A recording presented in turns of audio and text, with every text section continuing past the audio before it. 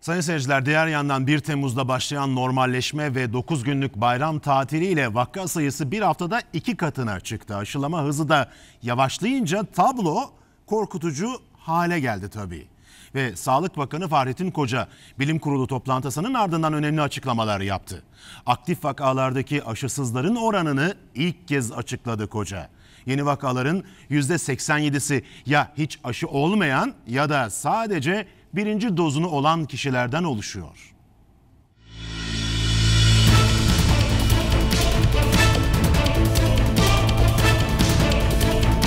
Bakan Koca ilk kez açıkladı. Mevcut aktif vakalar içinde tam aşılı olup hastalığa yakalananların oranı yüzde beşten az. İşte aktif vakalardaki aşı olmayanların oranı. Şu an aktif vakalarımızın yaklaşık yüzde seksen yedisi aşısı tamamlanmamış kişiler. Bir haftada vaka sayısı 8 binlerden 22 binin üzerine çıktı. Hızlı artışın ardından toplanan bilim kurulunun gündeminde de aşılama vardı. Vaka sayılarının artış hızı istemesek de yükselme eğiliminde. Bu durum birçok açıdan sorun teşkil ediyor. Şu ana kadar yapılan aşı sayısı 70 milyon doza aştı. Bu rakam büyük gibi görünse de sadece tek doz aşı sayısı olduğu için istenilen hedefe henüz ulaşılamadı. Sırası geldiği halde aşılanmayan 22 milyondan fazla kişi var. Sevdiklerimizi, büyüklerimizi korumak için önce kendi aşılarımızı olmamız şart. Ve aşısı tamamlanmamış kişilerin aktif vakalardaki oranını ilk kez açıkladı Bakan Koca. Şu an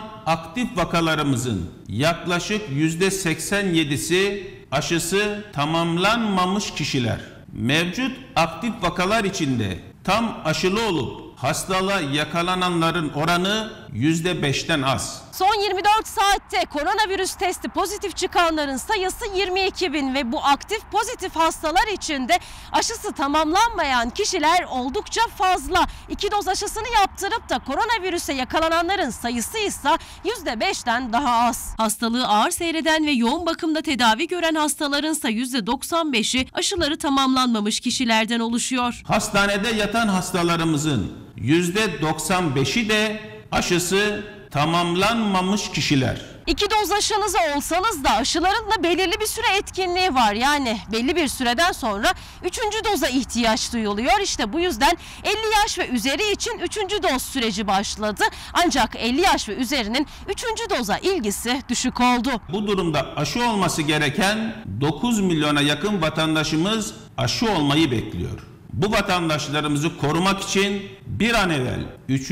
doz aşılarını olmaya davet ediyorum. Peki aşılama bu hızla giderse ve toplum bağışıklığı hedefine ulaşılamazsa aşı zorunluluğu getirilir mi? Bakan Koca net konuştu. Gerekirse getiririz dedi. Yaptığımız çalışmaların bilime ve kanıta dayalı sonuçları özel tedbirler almayı gerektirirse bunu yapmaktan imtina etmeyiz.